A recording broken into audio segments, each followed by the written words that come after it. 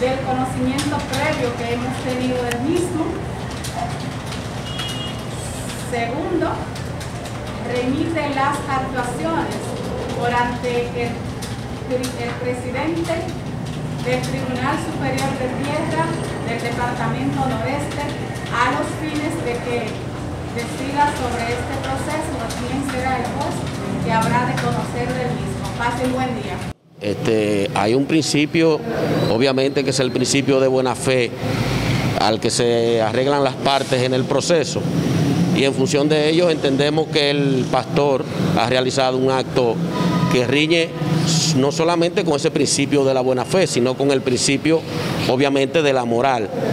Este, la valoración moral es una parte del juicio y este, en la medida en que la juez manifestó que alguien de su congregación le eh, hizo inferencia sobre el caso, pues eh, quiere decir obviamente que ellos han estado eh, realizando actos amorales fuera del proceso para tratar de influenciar a la justicia.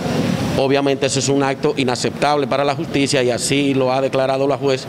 Quien no acepta el chantaje, pues lo vio de alguna manera como un acto de chantaje. Es la actitud más correcta que puede hacer un juez, dada la circunstancia de que ella tuvo conocimiento previo del caso y eso puede contribuir a la contaminación de su conciencia. Eso tiene que ver mucho con el principio de imparcialidad que deben mantener los jueces conforme al artículo 69 de la Constitución.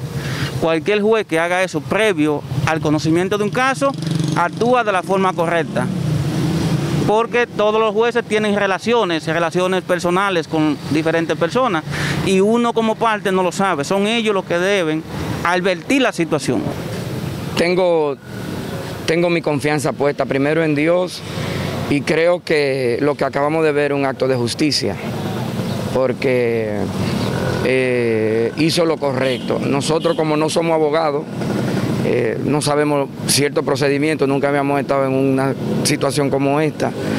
Entendimos que fuimos imprudentes de esa, al tomar decisión de acercarnos, no tal vez no con la intención de que se conociera el caso ni por teléfono ni nada de eso, sino por la impotencia que sentimos por cómo, va el cómo, venía el proceso.